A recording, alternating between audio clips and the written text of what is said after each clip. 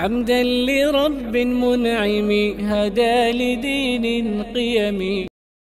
والغريب أنه بإجماع أهل السير ركزوا هنا. أن النبي صلى الله عليه وسلم توفي في الثاني عشر من ربيع الأول.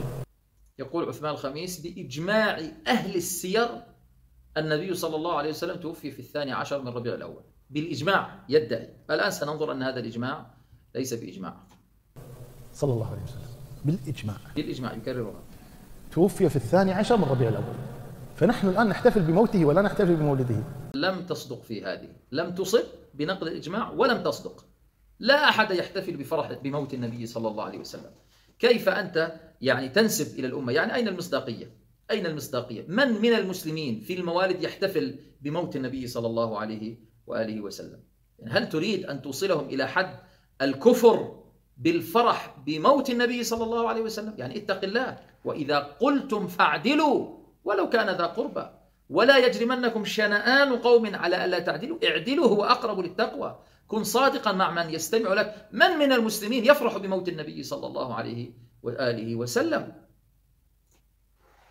صلى الله عليه وسلم. كأننا فرحون بموته والعياذ بالله.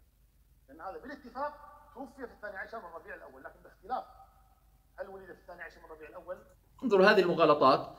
تكفي للشيخ عثمان الخميس تكفي لمتابعيه أن يعرفوا أنه رجل غير محقق في العلم. غير محقق. يقول لك هناك إجماع وذكرها مرتين واتفاق على أن وفاة النبي صلى الله عليه وسلم في الثاني عشر من ربيع الأول. طيب دعونا ننظر إلى آه، إلى أقوال بعض الأئمة. أقوال بعض الأئمة في موعد وفاة النبي أو تاريخ وفاة النبي صلى الله عليه وسلم. ذكر الحافظ ابن حجر رحمه الله في فتح الباري المجلد الثامن صفحة 129 قال وكانت وفاته صلى الله عليه وسلم يوم الاثنين بلا خلاف من ربيع الأول وكاد يكون إجماعا. إذا توفي يوم الاثنين وفي ربيع الأول. يوم الاثنين هذا متفق عليه. من ربيع الأول يكاد يكون إجماعا. ثم عند عند ابن إسحاق والجمهور أنها في الثاني عشر منهم. هذا قول مين؟ ابن إسحاق. طيب عند موسى ابن عقبة وهو أشهر أو من أشهر من نقل السيرة. والليث والخوارزمي مات لهلال ربيع الأول يعني أول آه، يوم من ربيع الأول. وعند ابن آه، مخنف أو مخنف هكذا والكلبي في ثانية ورجحه السهيلي ثاني اثنين ربيع الأول. وعلى القولين يتنزل إلى آخر كلام. آه، على أما على ما جزم به في الروضة فيكون عاش بعد حجته. تمام هذا كلام. المهم أنه لا يوجد إجماع على أن وفاته صلى الله عليه وسلم في الثاني عشر من ربيع الأول. ثم ذكر الحافظ ابن حجر رحمه الله آه، كلام السهيلي. قال وقد استشكل ذلك السهيلي ومن تبعه أعني كونه مات يوم الاثنين الثاني عشر شهر ربيع الأول. وذلك أنهم اتفقوا على أن ذا الحجة كان أوله يوم كان أوله يوم الخميس فمهما فرضت الشهور الثلاث. يعني النبي صلى الله عليه وسلم وقف آه، يعني كان يوم ذا الحجة أول يوم الخميس والنبي صلى الله عليه وسلم وقف عرفة يوم الجمعة.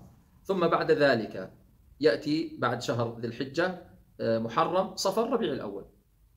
فمهما فرضت الشهور الثلاثة آه، توام أو نواقص أو بعضها لم يصح. يعني لا يصح أن يكون يوم الاثنين في ربيع الأول تاريخه 12 من 12 لا يمكن مهما فرض أنه الثلاثة ثلاثين آه، يوما أو الثلاثة شهر آه، ذي الحجة والمحرم وصفر لا يمكن لو فرضتها الثلاثة ثلاثين يوما أو الثلاثة 29 يوما أو بعضها آه، هذا 30 وهذان 29 هذان 30 وهذا 29 هذا وهكذا. لا يمكن أن يوافق يوم الاثنين الثانية عشر. وهذا أمر سهل جدا حسبته. فكيف يذكر عثمان الخميس؟ الإجماع. أنا لا أريد أن أستدل هنا ما هو اليوم بالتحديد. أريد أن أريكم أن هذا الرجل غير محقق بالعلم. يعني فقط يريد أن ينفر الناس من هذا الفعل. بأي طريقة؟ لكن بعد ذلك للأسف يتضح أنه خلاف آه، الصواب. وللأسف طبعا.